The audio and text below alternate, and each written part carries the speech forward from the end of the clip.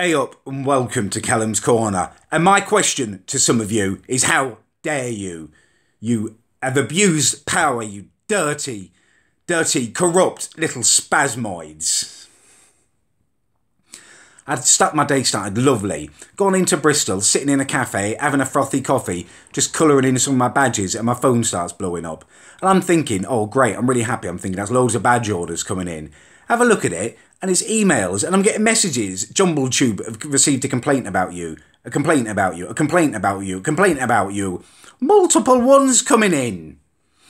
Right, I've put up a video on this little video classified site that actually employed me a couple of months ago to do some work for them to sell my badges. An honest endeavour, right? And I get these complaints. I phoned them, and bearing in mind I actually worked for them at one point, and I did work. I was hoping to do it again for them. This is one of the most mortifying calls of my life, right?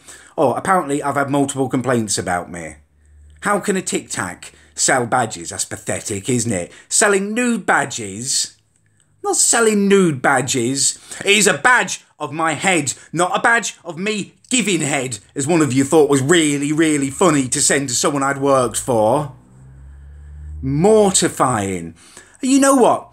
I'm trying to, I'm trying to, I've got a bloody tablet. Look at this. I've got had it up to here with you guys. I've got a tablet that I'm trying to professionally vlog with. I look like a twat out in public holding this massive thing.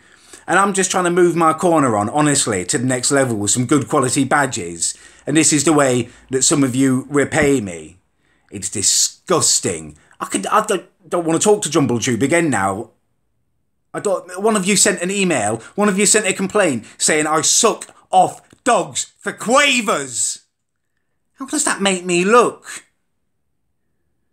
Right, these complaints are all anonymous. They can't tell me who they are, right? But you, dirty, dirty birdies, you sons of guns, right, who have done this, you will not run me off the internet. Three no, but it was 10 million in the end. People calling me Tic Tac did not run me off the internet. You will not run me off the internet. I'm still going live tonight, about, I don't know, 7, 8 o'clock, depending on the stability of my 4G. I will go live and I'm going to give away badges to my proper fans. And if you've got anything about you, those one of yous who've complained anonymously, you come and face me on my live stream if you've got balls. Go, come, come and come and own up to what you've done and face the wrath of Callum if you've got anything about you. And if you haven't, I hope you get hemorrhoids, and I hope they get infected, and I hope they burst, and I hope you're in pain.